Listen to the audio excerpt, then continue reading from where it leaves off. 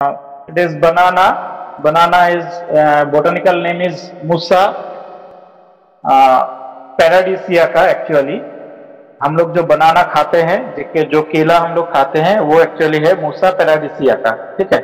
Family है Musaceae chromosome number है it is जो हम लोग बनाना खाते हैं तुम लोग जानते हो इट इज़ सीडलेस है ना? So it is actually triploid in nature so normal basic chromosome number is 11 so due to triploidy in nature there 2n equals to 3x equal to 33 ठीक है and origin particularly uh, India is the main center but in broad term it is Southeast Asia Asiatic region Southeast Asiatic region is the main center of banana but particularly it is uh, um, a native crop of India also ठीक है? And it is also known as tree of paradise और tree of wisdom इस नाम से भी इस crop को जाना जाता है। And India is one of the important banana growing country toward the world and India में ये normally entire south as well as western India जो साउथ का स्टेट है तमिलनाडु केरला कर्नाटक आंध्र प्रदेश और इधर वेस्टर्न इंडिया में Gujarat and Maharashtra are the main going area of banana along with some our subtropical region particularly Assam as well as west Bengal Bihar this region as well as central India Madhya Pradesh are the centre of uh, cultivation of these crops. In area it is Karnataka followed by Kerala and Andhra Pradesh having largest area. First, uh, first है Karnataka followed by Kerala and Andhra Pradesh. Production में आंध्र प्रदेश सबसे ज़्यादा है followed by Gujarat and Maharashtra and productivity में भी मध्य प्रदेश सबसे ज़्यादा है followed by Gujarat and Andhra Pradesh. ठीक है it is the uh, area and production scenario of these crops. It is uh, dominated by entirely the uh, south as well as western part of the country. ठीक है and इसका बहुत सारे कोई दिक्कत होगा तो चैट बॉक्स में टाइप करना uh, uh, there are lots of use particularly you people know that it is a, a crop of table purpose or you can say uh, the uh, particularly we have uh, we are taking this crop as a fruit crop but apart from this uh, fruit use as a table fruit or raw fruit it is also used as a vegetable crop ठीक है vegetable के हिसाब से भी बनाना हम लोग खाते हैं डिफरेंट प्रोसेस प्रोडक्ट बनाने के लिए बनाना यूज़ किया जाता है। जैसे बनाना चिप्स हो गया बनाना फिंगर हो गया बनाना पाउडर हो गया। डिफरेंट आइसक्रीम में बनाना फ्लेवर डाला जाता है, ठीक है? इसको छोड़ के सिर्फ़ जो फ्रूट है, इसका जो यूज़ है तो हो ही गया। वेजिटेबल और फ्रूट के हिसाब से हम लोग खाते हैं। इसको छोड़ के भी इंटर प्लांट जो है बनाना का it has lots of use actually बोला जाता है कि बनाना का कोई भी प्लांट पार्ट को हम लोग छोड़ते नहीं है। ये इस टाइप का दो ही दो तीन क्रॉप है जैसे बनाना के साथ कोकोनट भी एक इसी टाइप का क्रॉप है। रूबी मैडम तुम लोगों को पढ़ाएँगे कि कोकोनट और बनाना इस टाइप का क्रॉप है कि इसका कोई भी पार्ट को मतलब वेस्ट नहीं हो, होता है। ये सारे ही पार्ट पूरा प्लांट यूज़ होता है कोई ना कोई इकोनॉमिक इंपॉर्टेंस के लिए।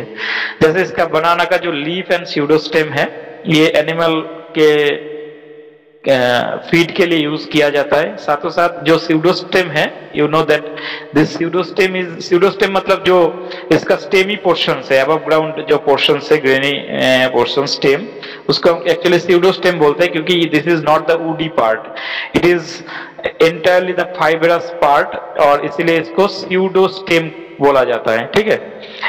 और इस pseudostem is highly fibrous in nature बहुत ज़्यादा मात्रा में इसमें फाइबर रहता है और it is a good source of this fibre for the fibre industry also ठीक है? साथ साथ लीफ जो है लीफ इसका यूज़ होता है आ, uh, क्या कहते हैं?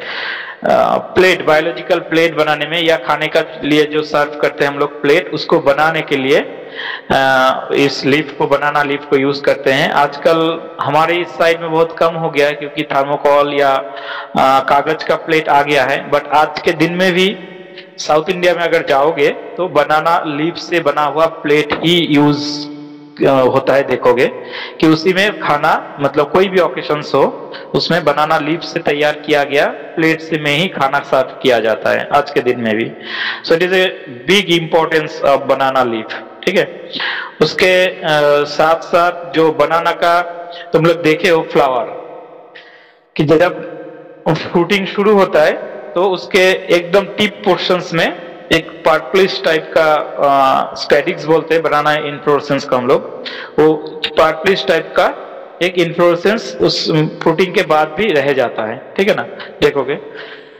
तो उस इन्फ्लोरेंस एक्चुअली आफ्टर फ्रूटिंग जो फ्रूटिंग हो गया, कंधा जब निकल जाता है, उसके बाद जो इन्फ्लोरेंस बचता है, उसमें एक्चुअली मेल फ्लावर होता है। मतलब male flower means they are looks like hermaphrodite flower but they are functionally male अगर उस फ्लावर से, उस रिमेनिंग स्पेडिक्स से कोई एक फ्लावर को तोड़ोगे तो देखोगे उसके अंदर जो फीमेल फ्लावर है, या फीमेल पार्ट है उस फ्लावर के अंदर, जो स्टिग्मेटिक पोर्शन से देखो कि वो ब्लैक हो गया है। ठीक है? So it is due to the non functionality of female part ठीक है? So this is actually although they are hermaphrodite in nature but they are actually the male flower जो फ्रूट में कन्वर्ट नहीं हो पाता है। That's why they remain in in that conditions after fruiting of entire part ठीक है?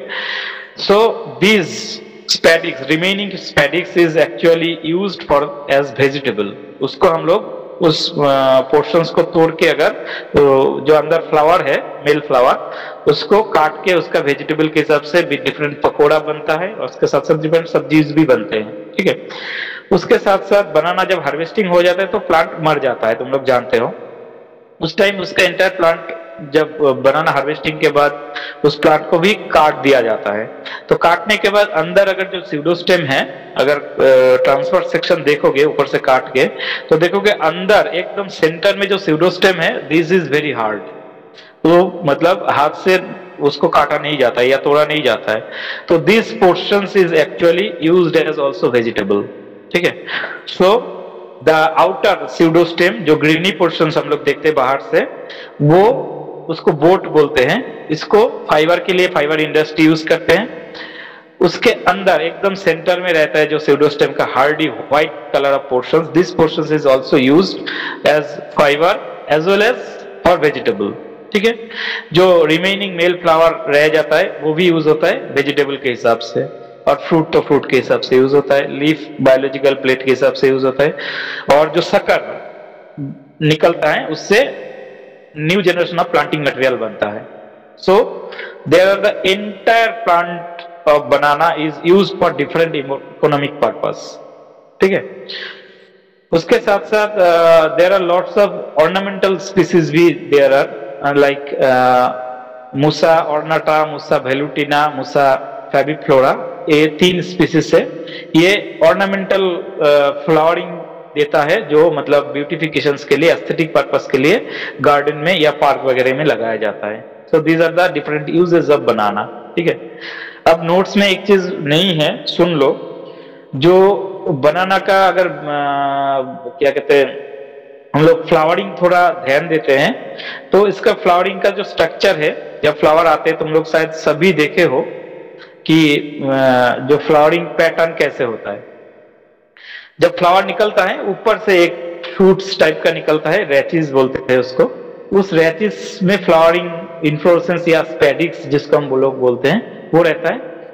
वो धीरे धीरे ऊपर से खोलते जाता है और वो फ्रूटिंग में कन्वर्ट होते जाता है। ऊपर फ्रूटिंग हो रहा है और नीचे स्पेडिक्स धीरे धीरे नीचे की तरफ़ आ रहा है। ऐसे ही होता है पैटर्न।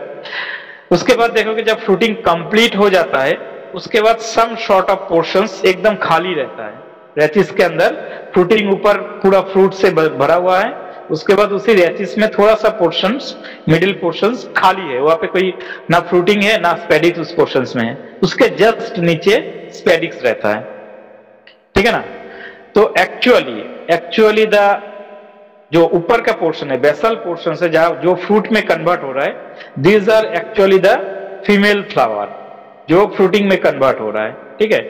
उसके बाद जो पोर्शन खाली रहता है रेचिस में this portion is constituted with the hermaphrodite flower उस पोर्शन में हार्माफ्रोडाइट फ्लावर होता है, जो अल्टीमेटली मतलब फंक्शनली फीमेल के तरह बिहेव करता है और कुछ दिन बाद वो धीरे धीरे झड़ जाता है, ठीक है? एंटायर हार्माफ्रोडाइट फ्लावर झड़ना शुरू हो जाता है। और उसके नीचे जो स्पेडिक्स रिमेनिंग स्पेडिक्स जो हम बोल रहे थे वेजिटेबल पर्पज के लिए यूज़ होता है, वो एक्चुअली क्या कहते हैं? Male flower so this male flower is actually use for the purpose of vegetable ठीक है? सो पैटर्न ऑफ़ फ्लावर ऊपर रहता है हार्मो मेल सॉरी फीमेल फ्लावर उसके बाद हार्माफ्रोडाइट फ्लावर उसके बाद नीचे मेल फ्लावर ठीक है? ओके सो ये हो गया usages of banana different usages उसके बाद एक अगर नोट्स देखोगे, उसमें एक ओरिजिन ऑफ़ कल्टीवेटेड फॉर्म बोल के एक चार्ट टाइप का दिया हुआ है, जो हम बताए बनाना जो हम लोग खाते हैं, जो सीडलेस बनाना है it is actually Musa paradisiaca का ठीक है? ये ट्रिप्लॉइड है। लेकिन इनिशियल स्टेज में जब बनाना ओरिजिन हुआ था या बहुत पहले आज से बहुत पहले की बात है जब बनाना आ, मतलब नेचर में आया था तब ये दो फॉर्म में आया था Musa acuminata and Musa balbisiana ठीक है? मूसा एक्यूमिनाटा एक्यूमिनाटा के ए से इसको डिनोट किया जाता है ए बोल के ठीक है? और बल्बेसियाना का बी से बल्बेसियाना स्पीसीज को डिनोट किया जाता है बी कैपिटल बी से ठीक है?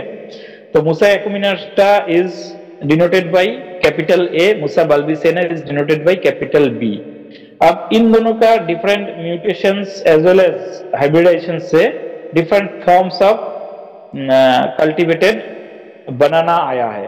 ठीक है? तो इन दोनों के क्रॉसिंग से ही मूसा एक्मिनाटा और मूसा बल्बिसेना के क्रॉसिंग से ही मूसा पैराडिसिया का बना है, जो आज हम लोग कल्टिवेटेड फॉर्म में देखते हैं या खाते हैं। ठीक है? सो मूसा बल्बिसिया पैराडिसिया का is the cross between Musa acuminata and Musa balbisiana ठीक है? अब उसी का डिफरेंट उस चार्ट में डिफरेंट फॉर्म में दिए, दिखाया गया है कि नेचुरल बाय नेचर जो मुसा एक्मिनाटा डिप्लॉयड है, वो कभी मतलब बाय नेचर म्यूटेशन होकर ट्रिप्लॉयड फॉर्म हो गया है, कभी टेट्राप्लॉयड फॉर्म हो गया ट्रिप्लॉयड कभी डिप्लॉयड मुसा बल्बिनेस के साथ हाइब्रिडाइज्ड होके ट्रिप्लॉयड हाइब्रिड बना दिया जो ए ए बी हो गया उसी हिसाब से। कभी मुसा एक्मिनाटा जो ट्रिप्लॉइड बन गया, अपने से मतलब डबल हाइब्रिडेशन होके अपने में ही होके फोर ए बना लिया है। उस फोर ए के साथ डिप्लॉयड बल्बेसियाना क्रॉस हो गया तो ultimately double A B form आ गया। तो देर आर लॉट्स ऑफ़ इस टाइप का कॉम्बिनेशन है। A double A B A double B triple A B A triple B double A double B ये different forms बना है by nature only there is no interference of human being but by nature different forms Musa acuminata Musa बल्बिन के, कभी mutation होके कभी hybridisation होके different combination बना लिया है. और उसमें से सबसे अच्छा कॉम्बिनेशन जो कल्टिवेटेड फॉर्म बनाना है triploid banana either double A B या ए डबल बी या you can say triple A also या triple B also there these are these forms are now it is come in to the cultivated forms ठीक है now there is a important topic scoring technique of banana उसके बाद है उसमें देखोगे, जो अब मुसा एक्मिनाटा और मुसा बल्बिनिसिना से जितना भी डिफरेंट फॉर्म्स बना है, उसमें किसका परसेंटेज ज़्यादा है? मुसा एक्मिनाटा का परसेंटेज ज़्यादा है या मुसा बल्बिसेना का परसेंटेज ज़्यादा है? या कंप्लीटली वो मुसा एक्मिनाटा है या कंप्लीटली वो मुसा बल्बिसेना है? ये जानने के लिए साइमंड एंड सेपार्ड 1955 में एक टेक्निक दिया है। अब कोई प्लांट है ठीक है बनाना का प्लांट तुम्हारे घर पे है, तुम लोगों के घर पे है। तो उस प्लांट को देख के तुम कैसे बोलोगे कि ये मुसा एक्मिनाटा का इसमें ज़्यादा है, कि मुसा बल्बिसिना का कैरेक्टर ज़्यादा है? कैसे पता चलेगा? अच्छा उससे पहले बोल देता हूँ, मुसा एक्मिनाटा जो है it is mostly use for table purpose और मुसा बल्बिसेना जो है it is mostly use for cooking purpose क्यों? मुसा एक्मिनाटा में स्टार्च जो जब फ्रूट अनराइप रहता है तो स्टार्च कंटेंट ज़्यादा होता है, और जब वो राइपनिंग में जाता है, तब स्टार्च धीरे धीरे कन्वर्ट होकर शुगर में कन्वर्ट होता है एडिबल शुगर में, है ना? तो ये कन्वर्शन जो है स्टार्च से शुगर का, ये मूसा एक्यूमिनेटा में ज़्यादा होता है। इसलिए उसमें राइपनिंग स्टेज में शुगर कंटेंट ज़्यादा होता है, जो हम लोगों का टेबल पर्पस का क्राइटेरिया होता है, ठीक है ना? लेकिन मुसा बल्बेसियाना में वो चीज़ नहीं होता है। मुसा बल्बेसियाना जब मैच्योर भी होता है, तब भी उसमें स्टार्च कंटेंट ज़्यादा रहता है। इसीलिए उसको कुकिंग पर्पस के लिए यूज़ किया जाता है। देखो कि बाज़ार में ये मार्केट में कच्चा केला भी मिलता है, ठीक है ना? दिस कच्चा केला या अनराइप केला जो वेजिटेबल के लिए यूज़ होता है it is completely different by shape as well as by taste from Musa acuminata because this form of केला जो वेजिटेबल पर्पस के लिए यूज़ होता है it is from the species Musa balbisiana ठीक है? तो इसीलिए मुसा एक्विनाटा में स्टार्च कंटेंट कम और शुगर कंटेंट ज़्यादा होने की वजह से वो वेजिटेबल फ्रूट के हिसाब से यूज़ खाया जाता है और मुसा बल्बिसियाना में स्टार्च कंटेंट ज़्यादा होने की वजह से उसको वेजिटेबल के हिसाब से खाया जाता है। ठीक है? तो अब मान लो तुम्हारे घर पे चार पाँच प्लांट है बनाना का अलग अलग स्पीसीज है। अब उसको कैसे आइडेंटिफाई करोगे कि इसमें किसका कैरेक्टर ज़्यादा है? मुसैकुमिनाटा का कैरेक्टर ज़्यादा है कि मुसा बल्विसियाना का कैरेक्टर ज़्यादा है? या कंप्लीटली वो मुसैकुमिनाटा है कि कंप्लीटली मुसा बल्विसियाना है? इसको आइडेंटिफाई करने के लिए साइमन एंड सेफर 1955 में एक टेक्निक दिया था। इसको बोलते स्कोरिंग टेक्निक इन्होंने क्या किया? इन दोनों ने कि 15 कैरेक्टर को इन्होंने आइडेंटिफाई किया बनाना का। ठीक है? पंद्रह कैरेक्टर वो तुम लोग का भी डिटेल्स जानने की ज़रूरत नहीं है। फिर भी हम बता रहे हैं कैसे किया है। पंद्रह कैरेक्टर मतलब लीप का शेप या लीप पेटियोल का लेंथ या लीप का विथ इस टाइप का पंद्रह कैरेक्टर इन्होंने लिया। ठीक है? वो फिक्स कर दिया। ये पंद्रह कैरेक्टर लेना है। अगर आइडेंटिफाई करना है या स्कोर बनाना है तो पंद्रह कैरेक्टर लेना है। यही यही पंद्रह कैरेक्टर लेना है, उसको छोड़ के नहीं। अब उस पंद्रह कैरेक्टर के लिए बोला कि अगर ये मुसा एक्मिनाटा के तरह एकदम होगा तो उसको एक एक कैरेक्टर के लिए एक मार्क्स मिलेगा। अगर ये मूसा बल्बी सेना के कंप्लीट प्योर बल्बी सेना होगा तो इसको एक कैरेक्टर के लिए पाँच मार्क्स मिलेगा। ठीक है? तो अगर कोई प्लांट्स प्योर मुसा एक्मिनाटा होगा तो उसको अल्टीमेटली टोटल कितना मार्क्स मिलेगा? तो एक कैरेक्टर के लिए एक मार्क्स मतलब पंद्रह कैरेक्टर के लिए पंद्रह मार्क्स और अगर प्योर बल्बेसियाना होगा तो एक कैरेक्टर के लिए पाँच मार्क्स मतलब पंद्रह कैरेक्टर के लिए पचहत्तर मार्क्स ठीक है? तो अगर उस पंद्रह कैरेक्टर को जो उन्होंने दिया था, या दिया है, उसको देखते हुए स्कोर किया जाता है, ठीक है? अगर वो पंद्रह में ही सीमित हो जाता है तो it will be completely Musa acuminata और अगर ये पचहत्तर तक जाता है तो इट विल बी कंप्लीटली और प्योर मुसा बल्बेसियाना लेकिन अगर मान लो 40 स्कोर करते गए हम लोग, और 40 स्कोर आया तो क्या होगा? या 50 स्कोर आया तो क्या होगा? ठीक है ना? तो इस केस में इंटरमीडिएट होगा। मतलब मुसा एक्विनेट भी इसका मतलब होगा कि ये नेचुरल हैबिटेशन से, दोनों का हैबिटेशन से बना है, और उसमें दोनों का कैरेक्टर है। ठीक है ना? तो ये करते हुए इन्होंने एक टेबल दिया है, देखोगे नीचे। उस टेबल में इन्होंने बताया, अगर प्योर डबल ए या ट्रिपल ए फॉर्म होगा तो उसको 15 से 23 मार्क्स मिलेगा। अगर डबल ए बी फॉर्म होगा मतलब एक्मिनाटा ज़्यादा और टू थर्ड भाग पोर्शन एक्मिनाटा और वन थर्ड पोर्शन बल्बिसियाना मतलब होके नेचुरल हाइब्रिडेशन होता है। Then the marks will be और स्कोर विल बी 24 टू 46 अगर दोनों का प्योर हाइब्रिडाइजेशन होगा, दोनों से सेम सेम आएगा 50 percent A B then it will be 49 अगर ए डबल बी होगा then it will be 59 to 63. If it is one A triple B then it will be 67. ठीक है? लेकिन इन्होंने जो क्लासिफिकेशन या स्कोरिंग टेक्निक दिया है, इन्होंने इसमें प्योर बल्बिसेना ग्रुप को ऐड नहीं किया था। देखो उसमें डैश है, इसीलिए। देखोगे? ठीक है? तो इसीलिए बाद में शिलावयन चमचालो 19 1987 eh, में इस टेक्निक को पूरा मॉडिफाई किया। मॉडिफाई करके बताया कि डबल डबल बी और ट्रिपल बी अगर बल्बेसेना प्योर बल्बेसेना होगा तो उसको 70 टू 75 मार्क्स मिलेगा। ठीक है? उस मॉडिफिकेशंस में थोड़ा इधर चेंज किया है बट ऑलमोस्ट देयर सेम बाकी चीज़ें। ठीक है? तो ये क्वेश्चन बहुत आता है स्कोरिंग टेक्निक ऑफ़ बनाना इसमें शॉर्ट क्वेश्चन भी बहुत आता है कि एक एक्विनाटा प्योर एक्विनाटा का एक करेक्टर के लिए कितना मार्क्स दिया था? प्योर बल्बेसिना के लिए एक करेक्टर के लिए कितना मार्क्स दिया था? अगर प्योर बल्बेसिना होगा तो मैक्सिमम मार्क्स कितना होगा? अगर प्योर एक्यूमिनाटा होगा तो मैक्सिमम मार्क्स कितना होगा? या शॉर्ट नोट में ये क्वेश्चन आता है स्कोरिंग टेक्निक ऑफ़ बनाना ठीक है? और क्वेश्चन आता है कि आ, कौन दिया था? स्कोरिंग टेक्निक ऑफ़ बनाना कौन दिया था? तो there are lots of different questions comes in different years regarding this scoring technique of banana okay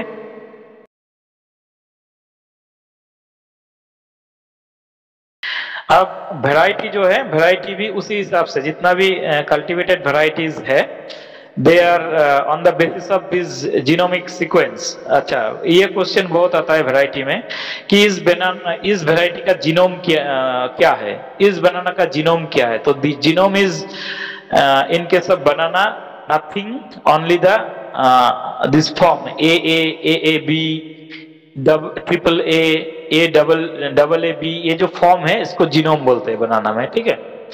तो मतलब ट्रिप्लॉइड होगा तो क्या है एक्चुअली जैसे हम लोग तुम लोग अगर नोट्स देखे हो तो उसमें देखोगे कि वैरायटी में शुरू में हम दिए हैं ऊपर ए ए कैपिटल ए ए उसके अंदर है लेडीज़ फिंगर तो लेडीज़ फिंगर है डिप्लॉयड वैरायटी जो pure acuminata diploid but pure acuminata ठीक है? इसलिए उसको डबल ए से डिनोट किया गया।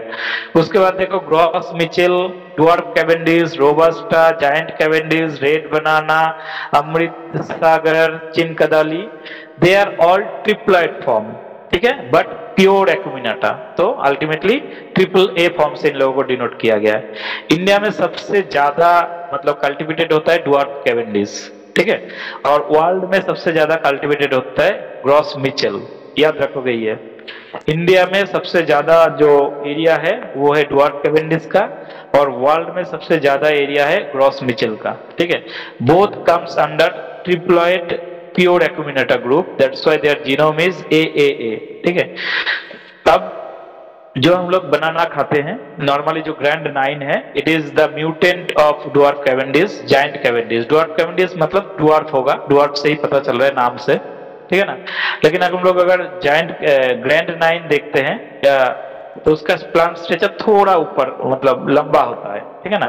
तो it is actually the tall mutant of dwarf Cavendish ठीक है? जाइंट कैवेंडिस ग्रुप में आता है Grand Naine and giant Governor ठीक है? इसके हर एक वैरायटी के अंदर ब्रैकेट में भी मतलब वैरायटी का नाम है। एक्चुअली जैसे डुआर्ट कैवेंडिस हो गया, ये ग्रुप है। इस ग्रुप में दो बना वैरायटी आता है बसराई और सिंगापुरी, ठीक है? मतलब they are same this Basrai और Singapuri is same but in different region they are name that different as different मतलब मान लो किसानगंज में या सिंगापुरी नाम में या वेस्ट बंगाल में सिंगापुरी नाम से मतलब जाना जाता है तो बाकी बिहार में नौगछिया या भागलपुर में बसराई नाम से जाना जाता है, ठीक है? Harichal and Bombay green A Bombay green बहुत आता है क्वेश्चन क्योंकि Bombay green is also a cultivar of mango जब मैंगो पढ़ाएँगे पढ़ाया जाएगा, तब जानोगे। Bombay green is also a cultivar of mango and also a cultivar of banana so for making student confusing ये क्वेश्चन दिया जाता है कि बॉम्बे ग्रीन किसका वैरायटी है। अगर बनाना और मैंगो बोथ रहता है तो बोथ होगा। ठीक है? उसके बाद रेड बनाना जो लाल कलर का होता है नॉर्मली साउथ इंडिया में होता है, ठीक है? उसके बाद और एक ग्रुप है टेट्रा ए चार ए ग्रुप का मतलब tetraploid Bodles Altafort it is a natural hybrid between Gros Michel and Pisang Lilin ठीक है?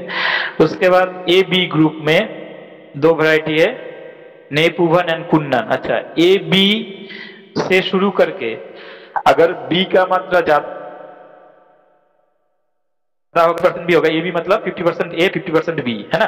इस टाइप का variety as well as A double B A triple B जितना का मात्रा अगर बढ़ रहा है 50 परसेंट और एबव तब इसका मतलब है कि this banana are more suitable for cooking purpose and less suitable for table purpose ठीक है? जैसे बताया कि acuminata is suitable for table purpose and balbisiana is suitable for cooking purpose तो जीनोम में अगर ए डबल बी है, या ए ट्रिपल बी है, या ए बी है, इसका मतलब this varieties are more suitable for cooking purpose ठीक है?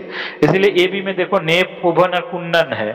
देखो अब कुन्नन में more suitable for processing like banana finger banana powder as well as vegetable purpose but there are lots of variety जो हम लोग खाते हैं, जैसे चिनिया हो गया, चंपा हो गया, मालभोग हो गया, मुंथन हो गया they all comes under double A B group ठीक है?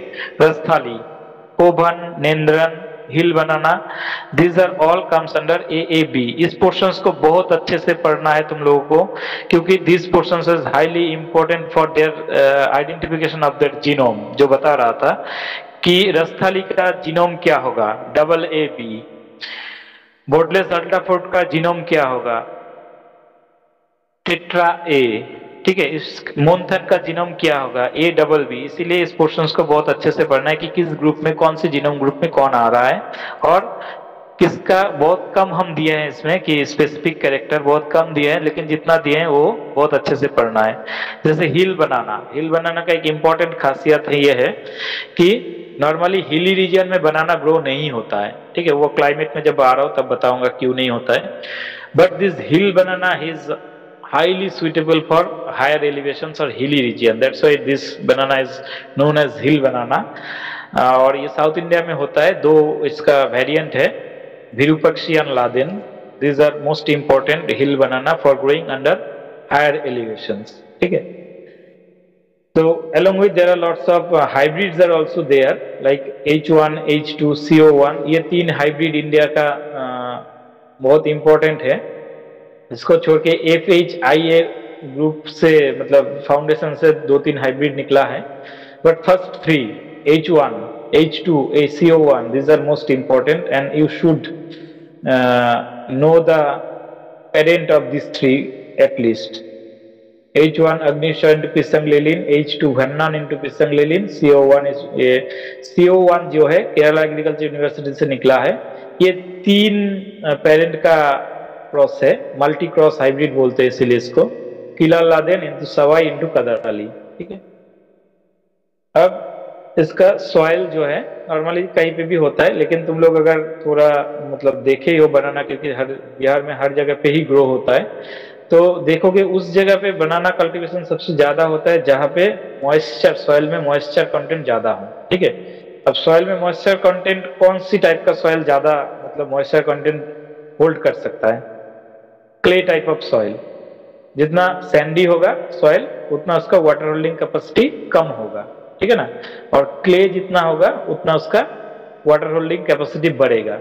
बिकॉज़ बनाना का जो रूटिंग सिस्टम है it is not the tap root system it is the fibrous root system और शैलो रूट सिस्टम मतलब सरफेस के आसपास ही उसका रूट सिस्टम होता है नीचे तक नहीं जा पाता है तो इसीलिए अगर रूट को मतलब न्यूट्रिएंट लेना है या वाटर लेना है सॉइल से तो वो न्यूट्रिएंट और well as water must be in the surface soil deep soil में जा अगर जाना है तो वो नहीं ले पाएगा तो इसीलिए क्ले टाइप ऑफ़ सॉइल जिसका वाटर होल्डिंग कैपेसिटी ज़्यादा होगा उस टाइप का सॉइल बनाने के लिए ज़्यादा फ़ायदेमंद होगा as compare to sandy soil ठीक है ना? तो नॉर्मली इसी टाइप का सॉइल uh, यूज़ होता है और इसका पीएच नॉर्मली 6.75 टू 7.5 तक जा सकता है और मैक्सिमम 8.5 तक भी जा सकता है ठीक है? Now one of the important part is climate of this crop जब शुरू में ही मैं बता रहा था, इस, ये क्रॉप जो है, ये नॉर्मली मतलब इंडिया में, या तुम लोग अगर थोड़ा तुम लोगों का मतलब आइडिया है तो देखोगे ये क्रॉप नॉर्मली वर्ल्ड में भी कहाँ ग्रो होता है। सबसे पहले अगर वर्ल्ड बनाना की बात आता है तो सबसे पहले हम लोगों के दिमाग में अफ्रीकन कंट्रीज़ की बात आती है वेस्ट इंडीज की बात आती है है ना? तो इस सारे जगह और इंडिया में भी अगर है तो सबसे ज़्यादा एरिया इसका है आम, क्या कहते हैं south India as well as western India ठीक है ना? तो इस टाइप जगह का क्लाइमेट अब देखो। नॉर्मली ट्रॉपिकल क्लाइमेट ठीक है ना? ज़्यादा ठंडा नहीं है बहुत ज़्यादा मतलब विंटर में भी ठंडा नहीं आता है। इस टाइप का जगह इसको आपके लिए मोस्ट सुटेबल क्यों नॉर्मली इसको 20 से 30 डिग्री टेम्परेचर की ज़रूरत होता है throughout the growing season ठीक है? 20 से 30 अगर टेम्परेचर 10 के नीचे आ जाएगा तो 10 के नीचे कब आता है? विंटर में, हम लोगों के यहाँ पे। विंटर में दस के नीचे आ जाता है। उस टाइम पे अगर इसका बंच इमरजेंस शुरू होता है बंच मतलब इन्फ्लोरेंस निकलने का टाइम होता है तो क्या होगा? अगर टेम्परेचर 10 के नीचे आ जाएगा और वो टाइम बंच इमरजेंस के साथ है इन्फ्लोरेंस निकलने के साथ है मैच करता है तो इन्फ्लोरेंस नहीं निकलेगा। तो अल्टीमेटली वो क्या होगा? उसी जगह पे ऊपर से एकदम देखोगे जो इन्फ्लोरेंस या फ्रूटिंग जो रेचिज होता है, अगर ध्यान से देखोगे अपने घर के आसपास अगर बनाना प्लांट है फ्रूटिंग स्टेज में तो देखोगे वो रेचिज ऊपर से जाके एकदम टीप पोर्सन से निकलता है। ठीक है ना? तो अगर टेम्परेचर निकलने के टाइम पे टेम्परेचर 10 या उसके नीचे आ जाता है तो वहाँ से वो निकल, ना निकल के उसी जगह पे उसका ग्रोथ स्टक हो जाता है स्टॉप हो जाता है। तो वहाँ पे वो एस सच रह जाता है। ठीक है? निकलेगा नहीं, वहीं पे खत्म हो जाएगा। तो इसको बोलते हैं choke throat disorder choke throat ठीक है? तो यही रीजन है कि सब ट्रॉपिकल एरिया में भी एज वेल एज मतलब टेम्परेट कंडीशंस में बनाना ग्रो नहीं हो सकता है। इसीलिए हमारे इधर थोड़ा बहुत हो जाता है, लेकिन जितना हम मतलब हिली रीजन के तरफ़ जाएँगे या टेम्परेट रीजन के तरफ़ जाएँगे बनाना कल्टीवेशन धीरे धीरे धीरे धीरे कम होते जाता है। और ट्रॉपिकल रीजन के तरफ़ धीरे धीरे बढ़ते जाता है। यही रीजन है कि 10 डिग्री के नीचे अगर टेम्परेचर बंच इमरजेंस के साथ कोइंसाइड कर गया तो बंच नहीं निकलेगा। और बनाना उसके इंटायर लाइफ में एक ही बार फ्लावरिंग फ्रूटिंग देता है। अगर एक बार बंद हो गया तो वो प्लांट अनइकोनॉमिकल हो जाएगा। तो that is the important reason behind the cultivation of banana in tropical region only ठीक है? Now its propagation it is mainly propagated by तुम लोग जानते हो फ़र्स्ट ईयर में uh, बोले थे तुम लोगों को कि शॉर्ट सकर सकर और उसमें भी शॉर्ट सकर फ़र्स्ट ईयर में अगर कोई बच्चा लिखता है कि सकर से है तो हम लोग नंबर मार्क्स देते हैं.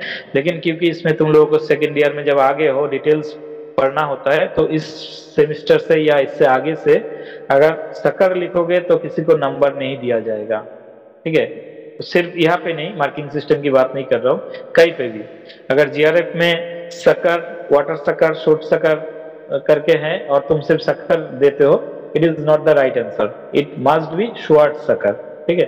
क्योंकि बनाना में दो तरह का सकर निकलता है। एक है शॉर्ट सकर एक है वाटर सकर वाटर सकर क्या होता है? कि बनाना नॉर्मली जो नीचे वाला पोर्शन होता है below the ground below the soil it is the rhizome ठीक है ना? राइजोम से इसका रूटिंग होता है, ठीक है ना?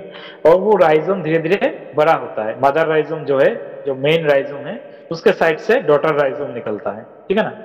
अब जो सॉइल सरफेस में जो राइजोम्स है, वह से कुछ राइजोम्स डायरेक्टली सकर बनाता है और सॉइल के नीचे डीप में जो राइजोम डॉटर राइजोम है, वो भी धीरे धीरे धीरे धीरे ग्रो करके कुछ आ, मतलब सकर निकलता है ठीक है? तो सॉइल सरफेस में जो राइजोम्स है या उससे जो डॉटर राइजोम निकला है उसमें से अगर प्लांट बनेगा तो उसका ग्रोथ ज़्यादा होता है। क्यों? क्योंकि वो सॉइल सरफेस में है जहाँ पे उसको मतलब न्यूट्रिएंट वगैरह सबसे ज़्यादा मिल रहा है क्योंकि सरफेस में ही हम लोग फर्टिलाइज़र देते हैं वाटर देते हैं तो उसमें से उसको रेडिली अवेलेबल जो nutrient as well as water है, उसको ज़्यादा मिल रहा है। तो वो क्या करता है? वो उस न्यूट्रिएंट को एब्जॉर्व करके या वाटर को एब्जॉर्व करके तुरंत सकर का ग्रोथ शुरू करता है और बड़ा साइज़ का ग्रोथ करता है। ठीक है? लेकिन जो राइजोम नीचे है, एकदम थोड़ा एक फीट नीचे, एक फीट तक तो जाता नहीं है, इतना ज़्यादा नहीं होगा। कुछ दस इंची अगर नीचे जाए है तो उस राइजम को अगर डेवलप होकर सकर में कन्वर्ट होना है तो क्या होना है? कि उस राइजम को धीरे धीरे धीरे धीरे बड़ा होना होगा। है ना? डॉटर राइजम को। ताकि वो सॉइल सरफेस तक आ पाए। जब सॉइल सरफेस में पहुंचेगा, तब उसका बर्ड बर्स्ट होकर उसमें से वेजिटेटिव ग्रोथ निकलेगा। ठीक? तो इसीलिए वो क्या करेगा? जो न्यूट्रिएंट वगैरह उसको मिल रहा है, वो उसके अपने ग्रोथ के लिए राइजोम को बड़ा होने के लिए वो यूज़ हो रहा है। ठीक है? तो इसीलिए उसमें से जब न्यू ग्रोथ शुरू होगा वेजिटेटिव ग्रोथ लीव वगैरह आएगा तो वो उसका ग्रोथ कम होगा। क्योंकि there is a much amount of nutrient as well as water will be use for the growth of the rhizome जो नीचे से ग्रो कर रहा है। लेकिन ऊपर के किस्म में वो नहीं है, जो सरफेस में डॉटर राइजोम है, वो रेडीली अवेलेबल न्यूट्रिएंट लेके प्लांट का ग्रोथ कर रहा है तो उसका ग्रोथ जो राइजोम का ग्रोथ है, उतना ज़्यादा नहीं हो पा रहा है, ठीक है? लेकिन उसको अगर काट के अलग से प्लांटिंग मटेरियल के हिसाब से यूज़ करना है then this water sucker will not be the suitable one क्यों? अगर उसको हम जब सॉइल में लगाएँगे तो उसको सॉइल का स्ट्रेंथ सबसे ज़्यादा चाहिए होगा, ठीक है ना? और क्योंकि वो राइजोम छोटा है और प्लांट का ग्रोथ ज़्यादा है, वो सर्वाइव ही नहीं कर पाएगा। लेकिन जो स्वॉट सकर है, जो मतलब नीचे से ग्रो होके आया है, जिसका राइजोम बड़ा है, लेकिन प्लांट साइज़ छोटा है, वो सॉइल के साथ अपना स्टेबिलिटी ज़्यादा बनाएगा। तो इसीलिए sword sucker is always the actual one तो इसीलिए शॉर्ट सकर जो है it is the actual planting material for the commercial multiplication of banana ठीक है? अब वाटर सकर से जो लीफ निकलेगा, जैसे बताया कि वो that will be vigorous broad size का लीफ होगा।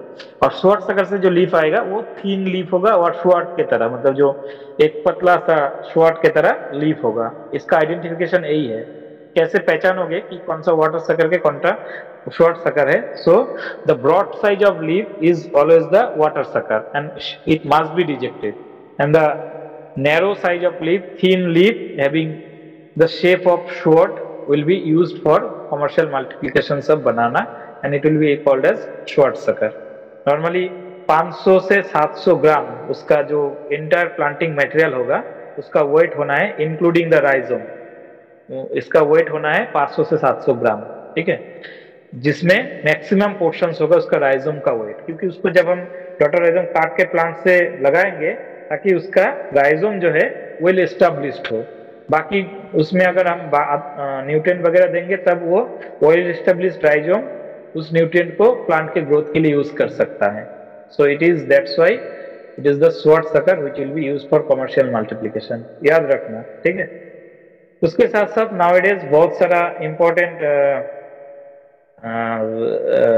टिश्यू कल्चर टेक्निक भी आ गया है और बनाना में सबसे तुम लोग जानते भी हो tissue culture technique is now it is most commercialise technique in any fruit crops only in banana it is commercially commercialised and utilized used by different companies also as well as different government sectors also by growing tissue culture banana plants है so these are the method of uh, propagations और उसके बाद planting normally warm and humid condition is prerequisite for its planting and rainy season for this और after rainy season July to September is the best time of planting and spacing वगैरह normally tall cultivar के लिए 2.4 से 2.4 और doer कल्टीवेयर के लिए 1.8 to 1.8 semi toll के लिए 2.1 टू 2.1 ये यूज़ होता है, ठीक है?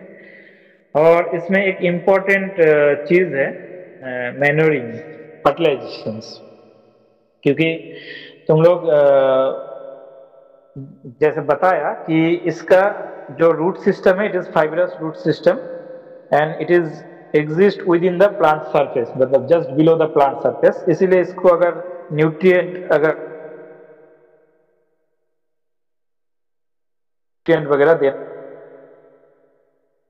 को बोला जाता है हेवी फीडर क्रॉप मतलब इंटायर फ्रूट क्रॉप्स में सबसे ज़्यादा न्यूट्रिएंट यूज़ होता है बनाना में सबसे ज़्यादा। इसलिए इसको बोलते हैं न्यूट्रिएंट लविंग क्रॉप और nutrient feeder crop heavy nutrient feeder ठीक है? तो नॉर्मली जो एफ़ वगैरह तो दे, देना ही होता है टेन के जी पर प्लांट के हिसाब से। उसके साथ साथ एनपीके एनपीके का बहुत इंपॉर्टेंट रोल होता है क्योंकि this is herbaceous in nature और तुम लोग जानते हो कि हर्बिसियस क्रॉप्स और एक बार ग्रो होने के बाद एक बार क्लाउडिंग पुटिंग पीरियड मर भी जाता है। तो इसलिए इंटर टाइम पीरियड में इसको बहुत ज़्यादा मात्रा में नाइट्रोजन की ज़रूरत होता है, बहुत ज़्यादा मात्रा में पोटाश की ज़रूरत होता है। नॉर्मली 250 ग्राम नाइट्रोजन पाँच स्प्लिट में दिया जाता है। ठीक है 250 ग्राम नाइट्रोजन को पाँच स्प्लिट में दिया जाता है एक बार के लिए मतलब एक प्लांट के लिए। पाँच equal speed 50 gram first 50 gram हम देंगे प्लांटिंग के टाइम पे, उसके बाद हर एक मंथ के इंटरवल पे और दो वेजिटेटिव टाइम पीरियड में, ठीक है, और दो बार दे देंगे सॉरी और तीन बार दे देंगे। फ़र्स्ट बार देंगे प्लांटिंग में, उसके बाद डेढ़ सौ ग्राम पाँच हर एक महीने के इंटरवल पे देते जाएँगे पचास ग्राम करके। उसके बाद जब निकल जाएगा फ्रूटिंग हो जाएगा, उस टाइम पे और एक बार दे देंगे। ठीक है? तो ये हो गया पाँच बार नाइट्रोजन देने का डेढ़ ढाई सौ ग्राम एक प्लांट के लिए। और पोटास उतना ज़्यादा ज़रूरत नहीं होता है, लेकिन प्लांटिंग के टाइम पे at the time of planting 40 gram potash दिया जाता है। लेकिन इस crop this crop is again high heavy feeder of potash sorry phosphorus की बात कर रहा था फॉस्फोरस उतना ज़्यादा ज़रूरत नहीं होता है। 40 ग्राम पर plant at the time of planting but this crop is heavy feeder of potash 200 gram potash की ज़रूरत होता है।